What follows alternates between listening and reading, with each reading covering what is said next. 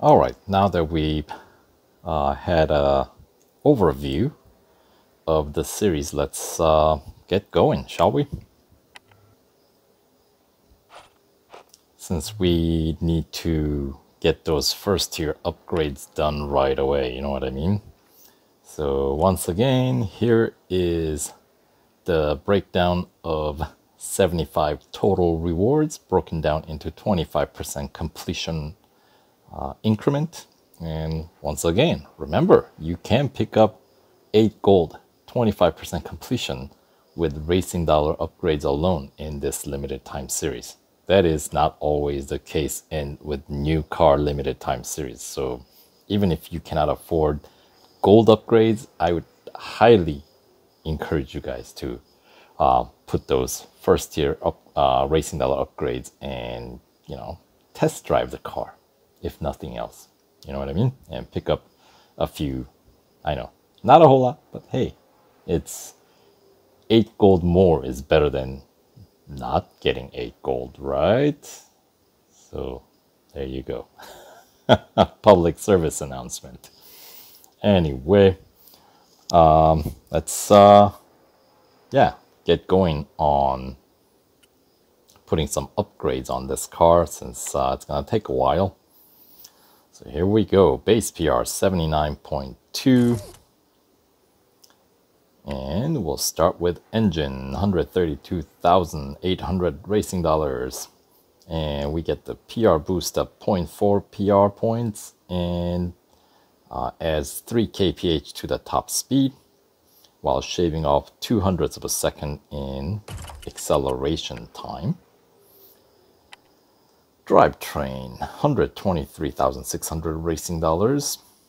Uh, we get the 0.5 PR point boost, uh, increase of 2 kph on top speed while shaving off 3 hundredths of a second in acceleration time.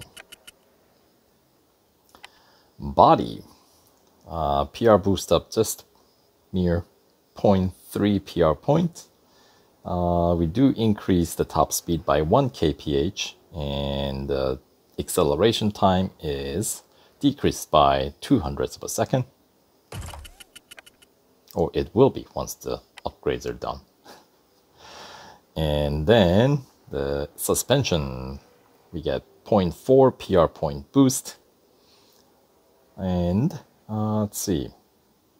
Increased grip of 0.02 G and the braking distance decreased by 0.3 meters. Right. Moving on.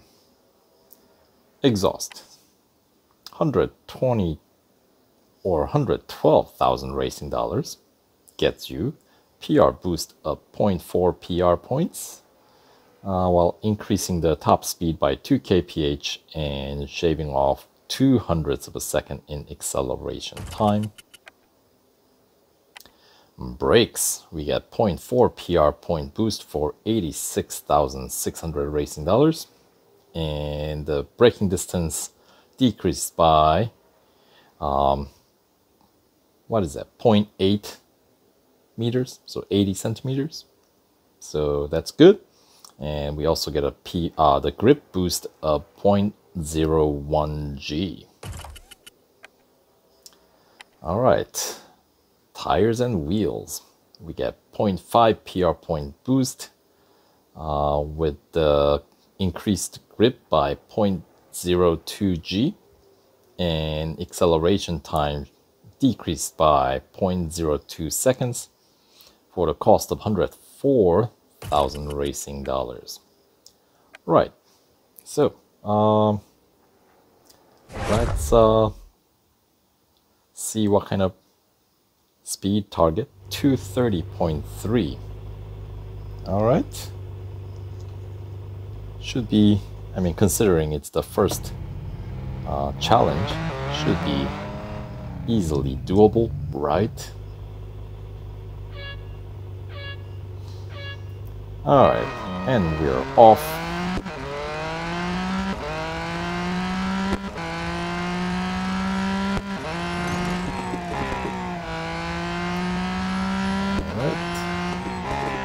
Nope. That was uh, rather poor driving there. But this is the fastest section of the circuit, so easily set the top speed. And then we can just uh, take it easy the rest of the way. Bring it on home. Alright.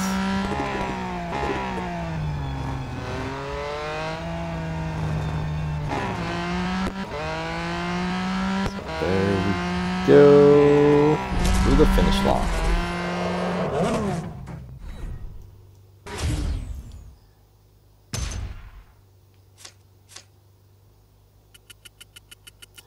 Apparently that collision costed $8. Think about that one. That was a pretty severe collision if, you know, you ask me. But uh, apparently not severe in the game. Well, you know what? If they say so. Alright, takes out two service bars for a lap around Melbourne. Let's continue on. Gold trophy number one of 45 necessary down. So let's go on to Hunter at Dubai. And let's see what kind of distance. 67 meters behind Sylvia. Course, it's going to be at Hill Circuit. So another pretty short event.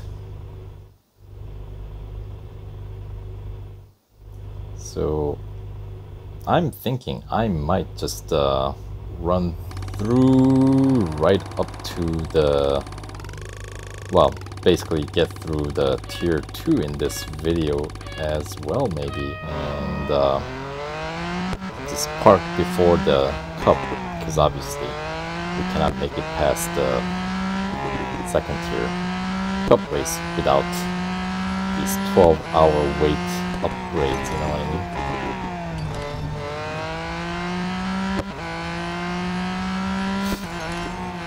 Anyway, these uh, downhill corners.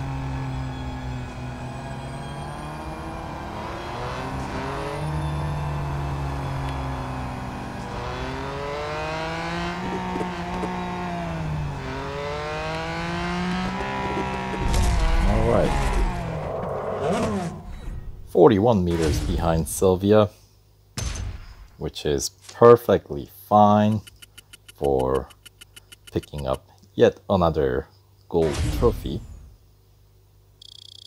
which of course is my primary goal, as it should be yours. All right. And unfortunately, in race, um, unlike in race day event, I don't believe we're getting any uh, drafting bonus or you know slipstreaming bonus. I know, and also the series, limited time series, is going to feature identical cars, so we're only racing against fellow Ford in this case. And if you're running the Ferrari, you'll be running against the fellow Ferrari racers. I think. But uh, maybe we're seeing some alternate liveries. I think those are just alternate liveries for Ford, but definitely there is no um,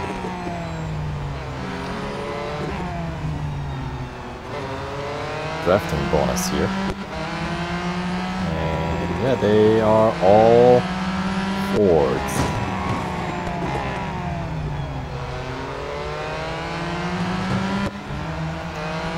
It's gonna be a pretty short single lap cup, so yeah. I'll uh, after this one, I'll just kind of push my way to the,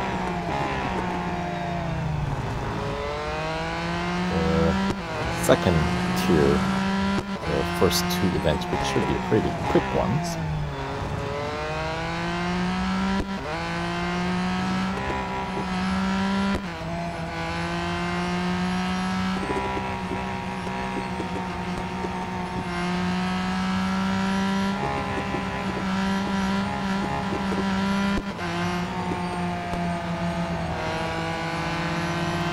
let them catch up.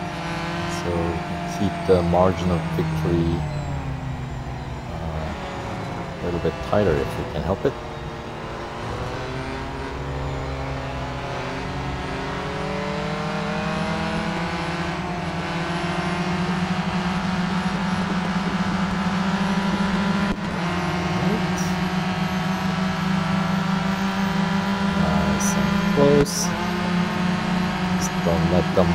allow to get in front or don't allow them to get up ahead. There we go. Nice and easy. Minute 49.041 for a single lap of rolling start race at Daytona Road Course.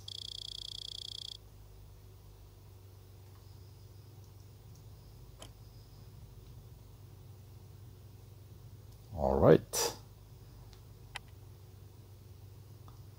So that's that. Takes out a few more service bars. All right. And let's see what we get in tier two because um, yeah, we have endurance and head to head that we can complete here. So sure let's just go ahead and do it, shall we? Since we cannot do the cup quite yet. So let's find out what kind of target distance we have. 5.6 kilometers. So that's another five and a half service bars that's going to be taken out if I just complete the bare minimum here.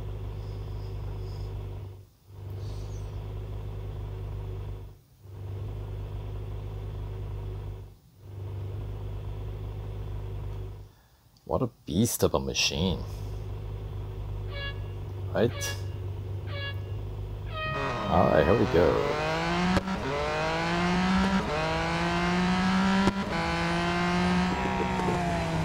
And cover 5.6 kilometers, I'm expecting I should probably make six overtakes. Should be enough, maybe. With this car, I feel like it should be enough. Obviously, we move pretty quick.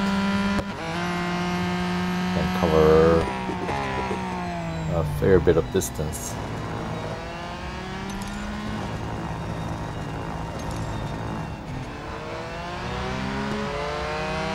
Alright, so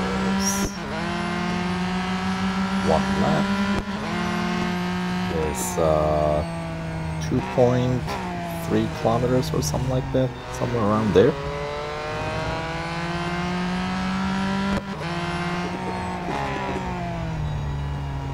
Alright, so I think that was a sixth overtake, right? I want to say.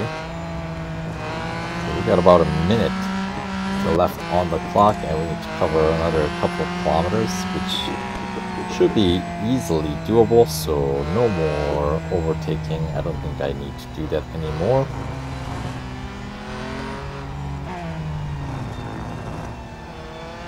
And we're also going to be receiving some uh, lap bonus. Seconds, I think, about. Yeah. Wasn't paying a whole lot, uh, all that close of an attention, so I might have misread that. Alright, looks like we're gonna have some time to kill, actually.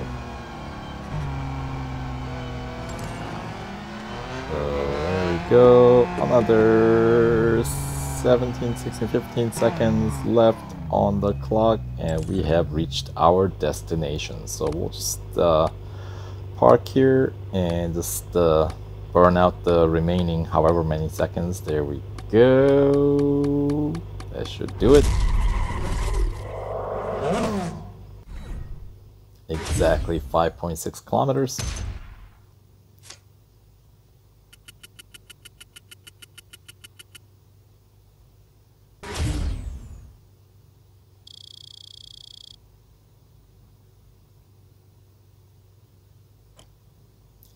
All right, and more importantly, how many service bars?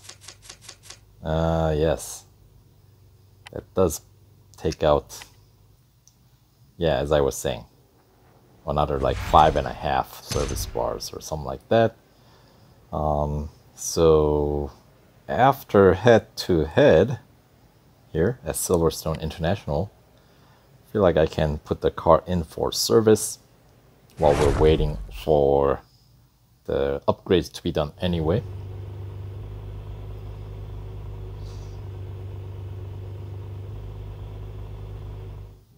All right.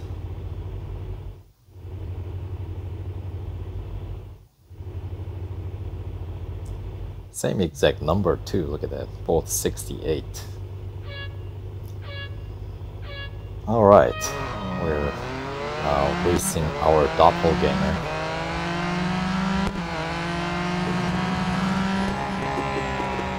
I'll stay behind JKR.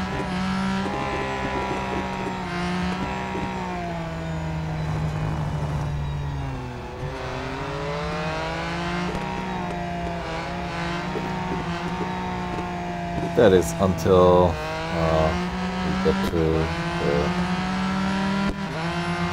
nice open straight.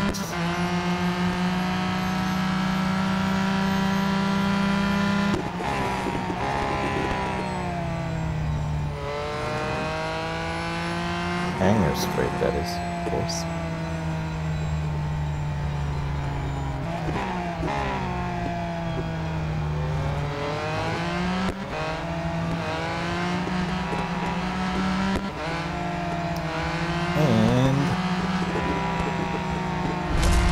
We go, nice and easy gold trophy. Of course, head to head, we only either get first or second place, win or lose. So if you lose, you don't actually get like a silver trophy, you get nothing.